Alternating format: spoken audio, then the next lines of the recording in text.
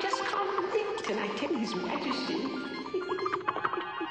Hey, you can't do that!